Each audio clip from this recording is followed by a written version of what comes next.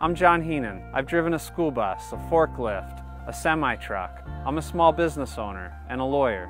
I'm not a farmer, but I've represented many farmers who've been ripped off by out of state businesses that don't play by the same rules that we do, and I've won. I'm not a teacher, but I've represented teachers and other folks against mortgage servicing companies that tried to foreclose on their homes, and I've won. I'm not a union member, but I've prosecuted corrupt politicians that do the bidding of anti union billionaires and I've won.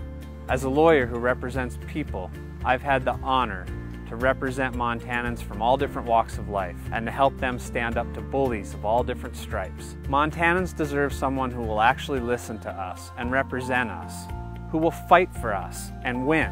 I'm John Heenan, and I approve this message because I will fight for you and your family and all Montanans.